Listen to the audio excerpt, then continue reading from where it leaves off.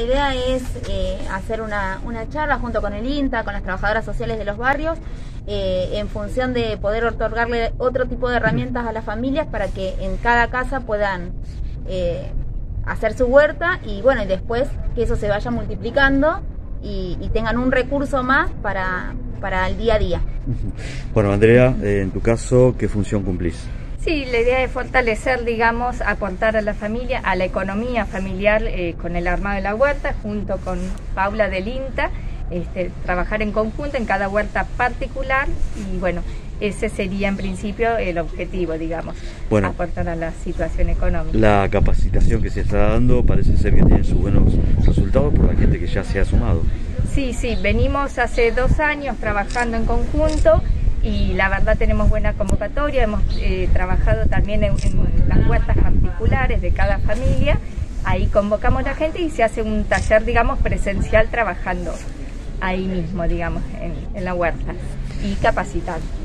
Ingeniera forestal Paula Ferrer, bueno, conceptos de lo que va a ser esta jornada de capacitación. Bueno, como bien decía Andrea, venimos ya trabajando desde hace dos años, eh, yendo a las, a las casas de las familias para, bueno, para hacer una huerta, para hacer el seguimiento de la huerta. En este caso, invitamos a las familias al SIC, a todos los interesados, para compartir este nuevo espacio de capacitación, donde los conceptos, bueno, tienen que ver con lo que es la huerta primavera estival, que es la huerta más productiva, y vamos a abordar cosas, cuestiones básicas del manejo, de la semilla que van a recibir, de cómo sembrar esa semilla, cómo preparar el terreno, también algunas nociones de lo que es manejo integrado de plagas, que es un tema de mucha consulta. Eh, y bueno, y siempre este espacio ¿no? de intercambio y de ida y vuelta, digamos. No es una clase magistral, sino bueno, re, también recabar las experiencias de los que asisten para tener este espacio de intercambio. Bueno, ¿qué otra cosa se le puede agregar a esta jornada presencial?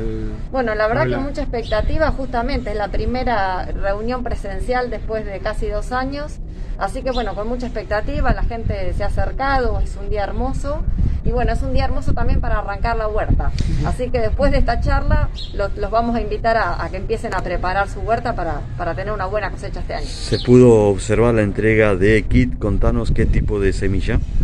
Los kits que vamos a entregar hoy son kit urbana, tiene eh, semilla, algunas semillas como por ejemplo acelga, lechuga, rúcula, rabanito que se pueden sembrar ya en este momento.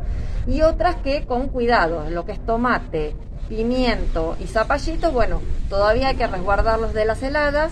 Lo ideal sería hacer plantines, lo que es tomate y pimiento, y lo que es zapallito ya sembrarlo directamente eh, en el mes de octubre. Ingeniera, como en alguna oportunidad se ha charlado, un año niña donde las lluvias no van a ser abundantes, algunas recomendaciones a tener en cuenta eh, en lo que tiene que ver con riego.